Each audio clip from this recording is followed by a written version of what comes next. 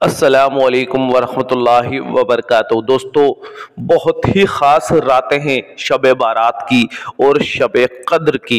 ये दोनों ही रातें बहुत ज़्यादा ख़ास है। इन रातों का आप फ़ायदा ज़रूर उठाइए। सोने के लिए नहीं है ये रातें। इनमें आप नफली नमाजें अदा कीजिए। आपकी हर ख्वाहिश पूरी होगी, हर तमन्ना पूरी होगी। आप अल्लाह के करीब हो जाएँगे।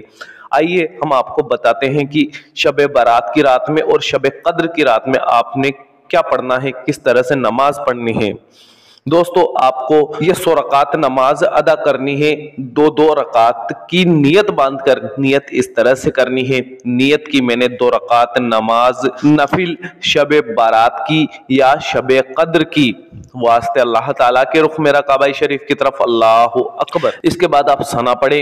आउज़बिल्लाह बिस्मिल्लाह पढ़े और सूरह फातिहा, यानी कि अलहमद शरीफ एक बार पढ़े। उसके बाद सूरह अल कद्र यानी कि इन्ना अनजलना हुफी लैलतुल कद्र ये आप एक मरतबा पढ़ें और उसके बाद में तीन मरतबा, सूरह इखलास यानी कि कुल अहद पढ़ें। उसके बाद में रुकू और सजदे मुकम्मल करें और दूसरी रकात के लिए खड़े हो जाए। दूसरी रकात में भी आपको सूरह फातिहा एक बार पढ़नी है, सूरह कद्र एक बार पढ़नी है और सूरह इखलास तीन मरतबा पढ़नी है। उसके बाद में रुकू और सजदे मुकम्मल करने हैं और कायदे में बैठ जाना है। कायदे में आम नमाज़ की तरह एक मरतबा तैयार पढ़े, एक मरतबा दुर्द इब्राहिमी पढ़े और दुआए माशुरा पढ़कर सलाम फेर कर अपनी नमाज़ मुकम्मल कर लें। सलाम फेर लेने के बाद आप दस मरतबा अस्तगफार पढ़े और दस मरतबा दुर्द पाक पढ़े, जो भी आपको याद हो।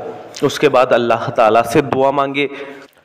याद रखिए दोस्तों, दस मरतबा अस्तगफार और दस मरतबा दुर्द इब्राहिमी या दुर्द पाक। आप पूरी सौ रकात नमाज़ मुकम्मल हो जाने के बाद ही पढ़िए। तो बेहतर है, अगर आप हर दो रकात में पढ़ना चाहें तो पढ़ सकते हैं। कोई दिक्कत नहीं है। एक ज़रूरी बात, हमारे व्यूवर्स ने हमसे सवाल किया था, आप कहाँ से बिलोंग करते हो, कहाँ के रहने वाले हो?